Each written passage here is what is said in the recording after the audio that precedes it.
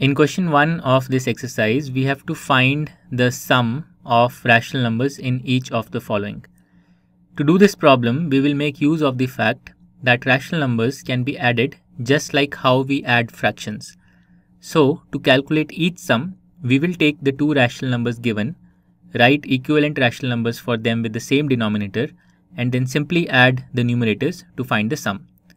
Okay, so let's start with the first part. In the first part, we have to add 5 by 4 and minus 11 by 4. So these two numbers already have the same denominator 4. So let's simply add the numerators.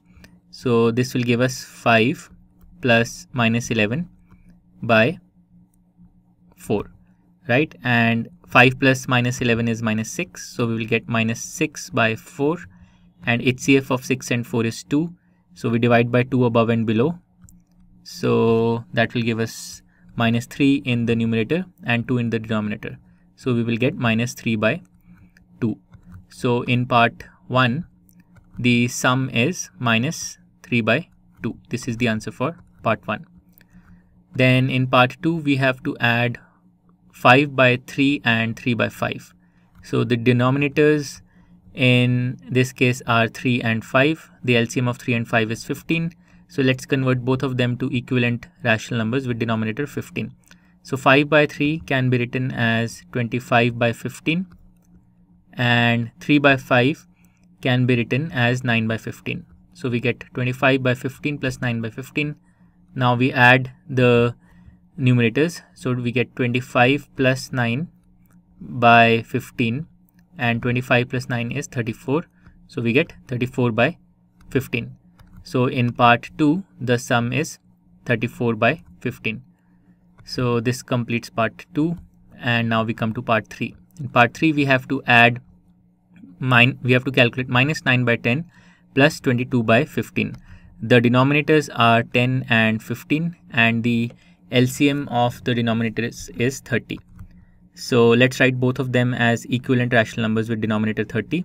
So minus 9 by 10 can be written as minus 27 by 30 and 22 by 15 can be written as 44 by 30 and now this sum we can add the numerators. So we can get minus 27 plus 44 and this whole thing divided by 30 now minus 20, 27 plus 44 is 17 so we will get 17 in the numerator and 30 in the denominator so in part 3 the sum is 17 by 30 and this completes part 3 and now we come to part 4 in which we have to calculate minus 3 by minus 11 plus 5 by 9.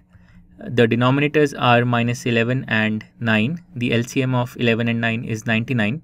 So let's write both of them as equivalent rational numbers with denominator 99.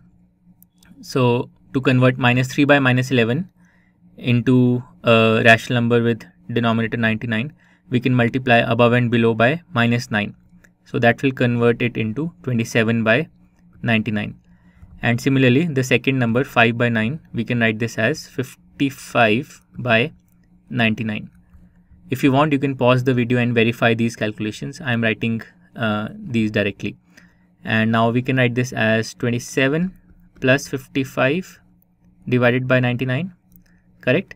And then 27 plus 55 is 82 so we will get 82 by 99 so in part 4 the sum is 82 by 99 so that completes part 4 and now we come to part 5 in which we have to calculate minus 8 by 19 plus minus 2 by 57 the denominators are 19 and 57 the LCM of these two is 57 because 19 times 3 is 57 so minus 8 by 19, we can write this as minus 24 by 57 and then the second number we leave it as it is minus 2 by 57 and now we add the numerators. So minus 24 plus minus 2 and divide this by 57 minus 24 plus minus 2 is minus 26 so we get minus 26 in the numerator and 57 in the denominator.